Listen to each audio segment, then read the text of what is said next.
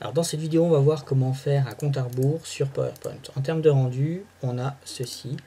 Donc on a 5, 4,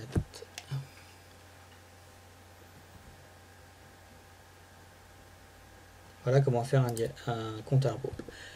Pour faire le compte à rebours, la première chose à faire, c'est mettre en forme l'arrière-plan pour l'avoir en fondu de type euh, couleur remplissage et on peut mettre du noir ou une autre couleur. Ensuite, on va faire une ellipse. Donc insertion ici d'une forme, on met une ellipse et cette ellipse, on la centre au niveau du format de dessin pour avoir une ellipse.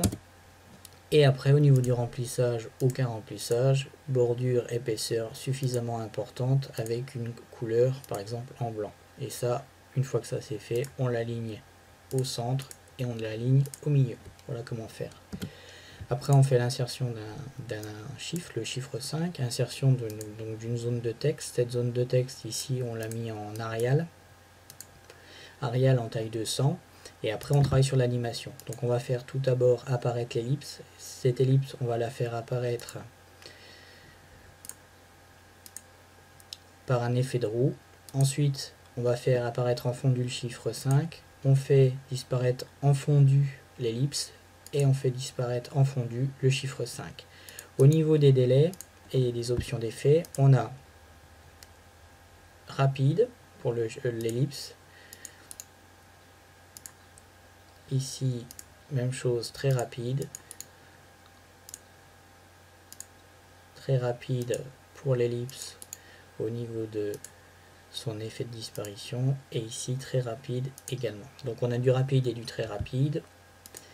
Et en, général, c'est après la précédente. Ici, c'est en même temps. Ici, c'est après.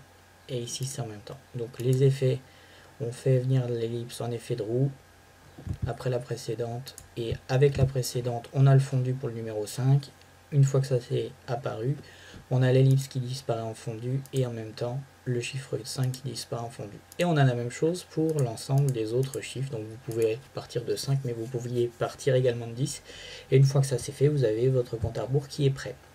Voilà comment faire un compte à rebours sur PowerPoint. J'espère que cette vidéo vous sera très utile et on se dit à très bientôt sur le site de maîtriseexcel.com.